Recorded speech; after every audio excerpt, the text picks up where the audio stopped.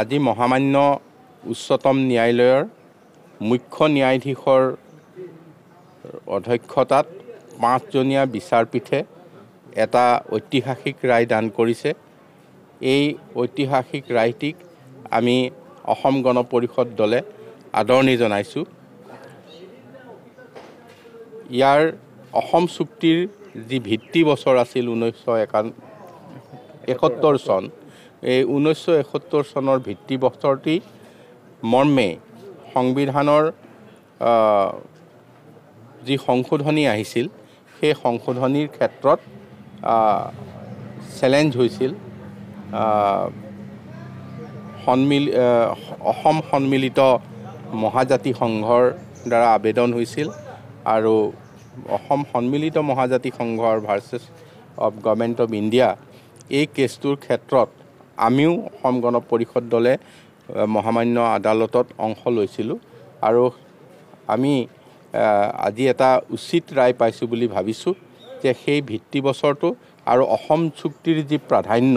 অসম যুক্তিৰ চুক্তিৰ যি ন্যায্যতা এই ন্যায্যতা আজি পুনৰ মহামান্য আদালতে প্ৰমাণ কৰিলে আৰু অসম চুক্তি মতেই অসমৰ বিদেশী বহিষ্কৰণৰ যি সিদ্ধান্ত সেই সিদ্ধান্ত বাহাল থাকিল। আজি মহামান্য উচ্চতম ন্যায়ালয়ৰ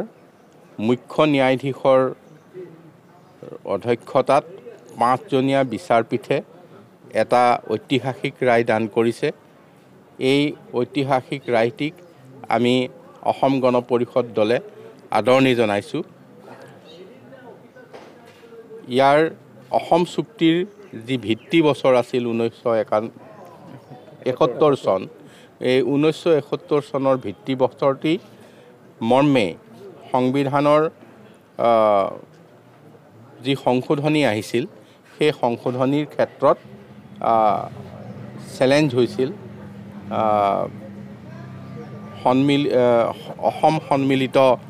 মহাজাতি সংঘৰ দ্বাৰা আবেদন হৈছিল আৰু